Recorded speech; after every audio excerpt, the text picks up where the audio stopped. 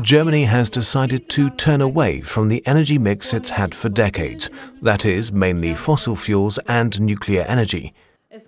There is no other comparable country in the world that is forcing through such a radical change in its energy production.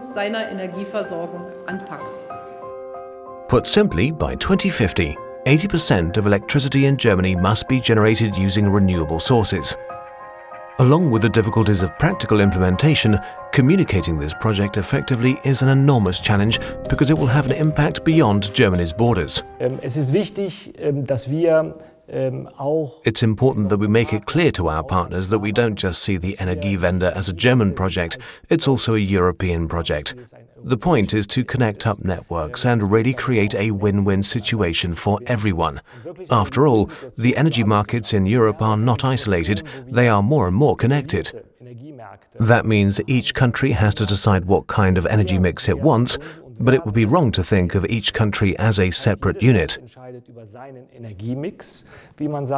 Aber es wäre falsch zu denken, dass jedes Land völlig unabhängig ist. Germany laid the foundations for this revolution back in 2000 with a law promoting renewable energy. Today, 25% of Germany's electricity is renewable. In some places, things have been taken even further, for example, the town of Wolfhagen. By 2015, all of the town's electricity will come from renewable sources. The theory that we only have to use a fraction of the energy that shines on this planet and our energy problems would be solved always sounds so abstruse and vague. Take Wolfhagen, though, and you can see that making 100% of electricity supplies renewable is actually really easy. We have four wind turbines and an 18 hectare area for a total area of 110 square kilometers. So you can see that you don't have to cover the whole of Wolfhagen to generate enough energy for the town. There's something else about Wolfhagen that's very special people are actively taking part in the energy revolution. 25% of the population have acquired stakes in the town's energy company. People loved the idea of being able to invest in a cooperative model. And the cooperative grew very fast. We now have some 670 members, and every week there are people wanting to join.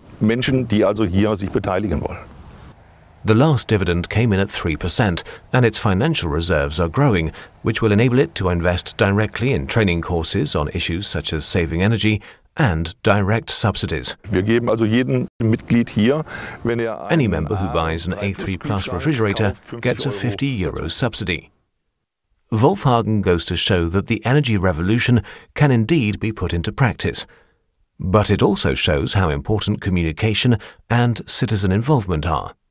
The small town is something of a pilot, a Japanese delegation has already visited, others are to follow.